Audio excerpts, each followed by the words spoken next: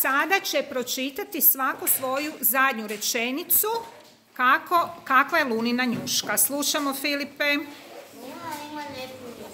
Dobro, dalje. Cvita, Luna ima hrapavu njušku.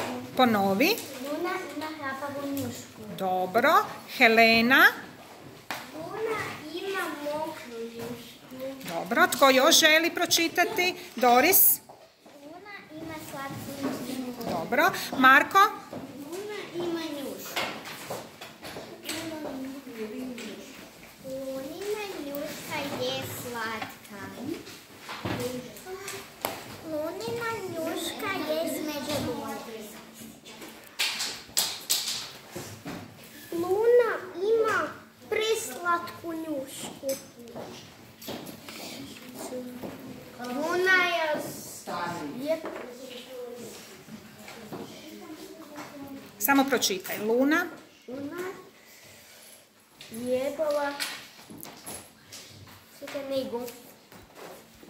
Dobro. Ima li još netko? Roko.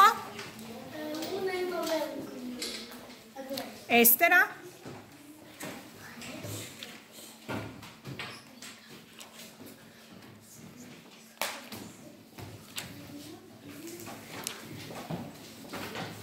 Njuška je slatka. Njuška je slatka. Jesmo svi, oprosti Iris, slinavu. Evo ga, otkrili smo kakvu sve luna imaš njušku. Bravo za lunu. Jedan pljesak za sve nas i za našu lunu.